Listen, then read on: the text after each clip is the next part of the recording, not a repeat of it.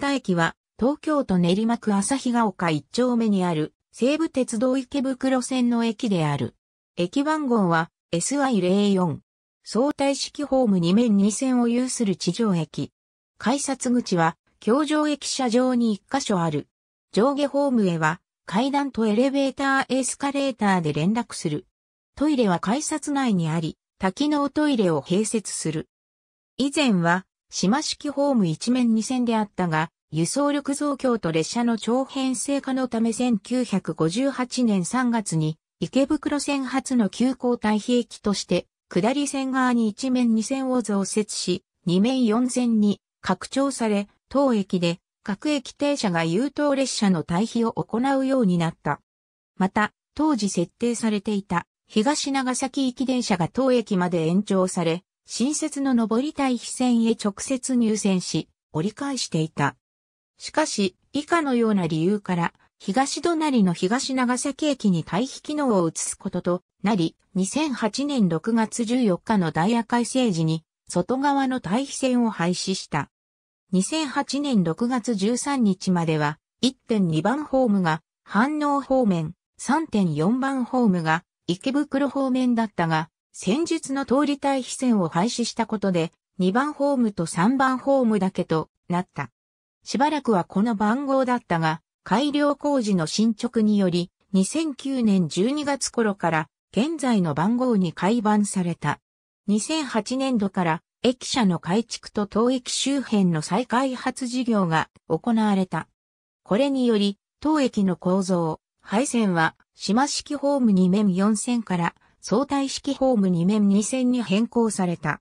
また、改築に伴い生じた余地が、駅前広場の整備や道路の拡幅などに充当された。2010年1月9日より、橋上駅舎本体の共用が開始され、改札内コンコースとホームとを連絡するエレベーターとエスカレーターが新設されたほか、コンビニエンスストア、タモーニーが営業を開始したが、この時点では出入り口は仮設で、旧駅舎と古線橋の撤去と出入り口と改札外コンコースを連絡するエレベーターエスカレーターの新設、屋上と壁面の緑化などを行い、同年末に完成した。なお、駅周辺再開発を含めた全体の観光は2011年度の予定である。国及び練馬区と共同で実施する駅、町一体改善事業として行われる。この工事に関しては、2007年7月に西武鉄道と練馬区によって設立された事業主体のエゴタ駅整備株式会社に対し、国と区から鉄道駅総合改善事業として費用の一部が補助されている。なお、この事業では駅周辺に所在する武蔵大学、日本大学芸術学部、武蔵野音楽大学からのアイデアがデザインの一部に採用された。2020年度の1日平均乗降人員は2万42人であり、西武鉄道全92駅中37位。1980年代までは乗降人員が6万人を超えており、池袋線の普通列車の未停車する駅で乗降人員が多い時期もあったが、都営地下鉄大江戸線の開業等により減少傾向が続いた。